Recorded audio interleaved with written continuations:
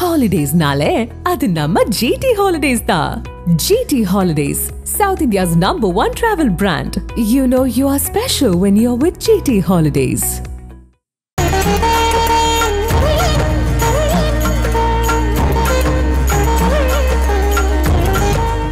மக்கள் தொலைக்காட்சி அன்பர்கள் அனைவருக்கும் அடியேனின் அன்பு வணக்கங்கள்.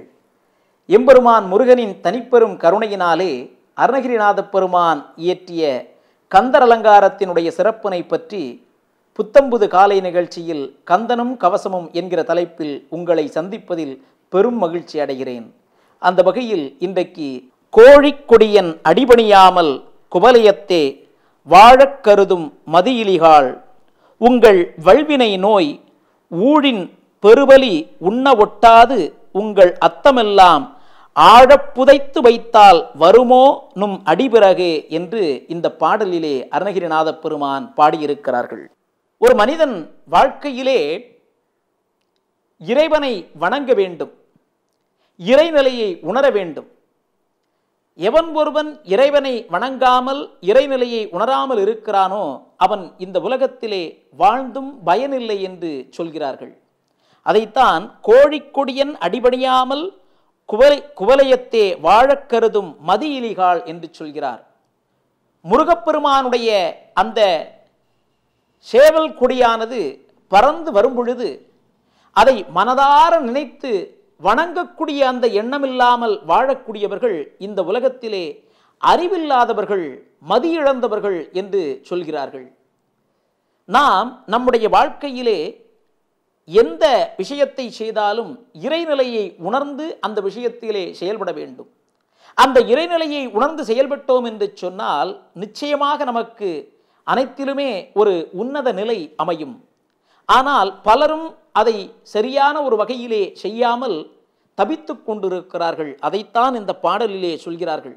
அப்படி நாம் செய்வதினால் நம்முடைய வாழ்க்கையிலே இந்த ஊழ்வினைகளினால் ஏற்படக்கூடிய அந்த துன்பங்களெல்லாம் நம்மை சார்ந்து வந்து நம்முடைய வாழ்க்கையிலே மேலும் மேலும் துன்பத்தை ஏற்படுத்தும் என்பதை சொல்கிறார்கள் அதைத்தான் திருவள்ளுவர் பெருந்தகை பிறப்பென்னும் வேதமை நீங்கி சிறப்பென்னும் செம்பொருள் காண்பது அறிவு.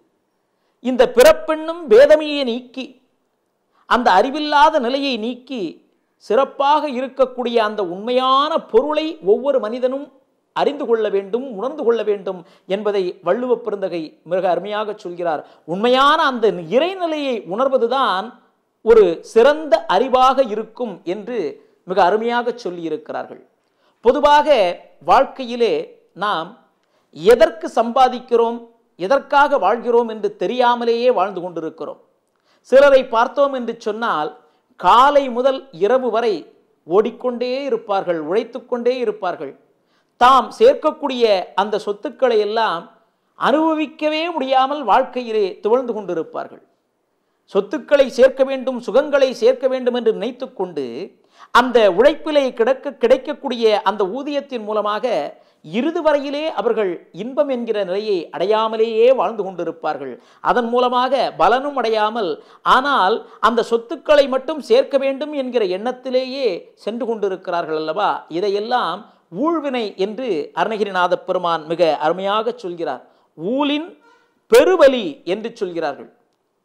இந்த வாழ்க்கையிலே முன்பு செய்த அந்த பாவத்தின் மூலமாக வரக்கூடிய அந்த விஷயங்கள் எல்லாம் மிகப்பெரிய ஒரு வலியாக நம்முடைய வாழ்க்கையிலே அமையும் என்பதை இந்த பாடலின் மூலமாக உணர்த்தியிருக்கிறார்கள்.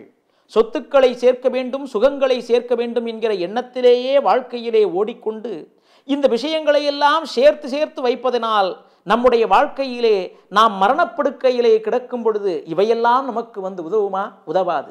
அந்த மரணத்தருவாயிலே இருக்கும் பொழுது நம்மை வந்து காக்க வேண்டியவர் யாராக இருப்பார்? உண்மையாகவே அந்த முருகன் அந்த இறைவன் நம்மை வந்து காப்பான். ஆகையினாலே நம்முடைய வாழ்க்கையிலே இறை நிலையை சிந்தித்து வாழ வேண்டும் இறைநிலையை உணர்ந்து நம்முடைய வாழ்க்கையை வாழ வேண்டும் என்பதை மிக அருமையாக இந்த பாடலிலே சொல்லியிருக்கிறார்கள். அதுதான் சொல்கிறார் திருக்குறளிலே வள்ளுவப் பெருந்தகை மிக அருமையாக சொல்லி இருக்கிறார்கள் ஊழிற் பெருவலி யாவுள மற்றொன்று சூழினும் தான் முன் தூரும் என்று சொல்லியிருக்கிறார்கள். ஊழினால் வரக்கூடிய முன்பு செய்த அந்த வினையினுடைய பாபத்தினால் வரக்கூடிய இந்த விஷயங்கள் எல்லாம் நம்முடைய வாழ்க்கையிலே மிகப்பெரிய துன்பத்தை ஏற்படுத்தும்.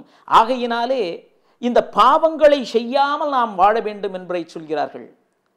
விதி என்பதைத்தான் ஊழென்று சொல்கிறார்கள். பிறக்கும் பொழுதே நம்முடைய வாழ்க்கையிலே எப்படி வாழ வேண்டும் என்று அந்த இறைவன் நம்முடைய தலையிலே எழுதியிருக்கிறான். அந்த நிலையிலே நாம் வாழ்ந்து கொண்டிருக்கிறோம். நாம் செய்த பாவங்கள் எல்லாம் தீர வேண்டும் என்று சொன்னால் நாம் நிச்சயமாக நம்முடைய வாழ்க்கையிலே இறைவனை நினைத்து வாழ வேண்டும் இறைநிலையை உணர்ந்து வாழ வேண்டும் என்பதை இந்த பாடலிலே மிக அருமையாக சொல்லியிருக்கிறார்கள். ஆகையினாலே மனிதர்களே நீங்கள் சேர்க்கக்கூடிய செல்வங்களோ அந்த புகழோ அந்த சொத்துக்களோ நீங்கள் இறக்கும் தருவாயில் உங்களோடு வருவது கிடையாது. அது உங்களை சார்ந்தே வந்து கொண்டிருக்காது. அதை நீங்கள் புதைத்து வைப்பதனால் எந்த விதமான பலனும் கிடையாது. ஆகையினாலே இந்த சொத்துக்களையும் சுகங்களையும் சேர்க்க வேண்டும் என்கிற எண்ணத்திலேயே வாழ்ந்து கொண்டிருக்காமல் ஊழின் பெருவெளியிலே நாம் திளைத்து துன்பப்படாமல் இருக்க வேண்டும் என்று சொன்னால் வாழ்க்கையிலே இறைவனை மனதார நினைத்து முருகனை மனதார தியானம் செய்து வாழுங்கள். நாம் வாழ்க்கையிலே உன்னத நிலையை அடையலாம். ஆகையினாலே இறைநிலை என்பது ஒரு மனிதனுக்கு அவனுடைய வாழ்க்கையிலே இருக்க வேண்டும் என்பதை இந்த பாடலின் மூலமாக மிக அருமையாக சொல்லியிருக்கிறார்கள்.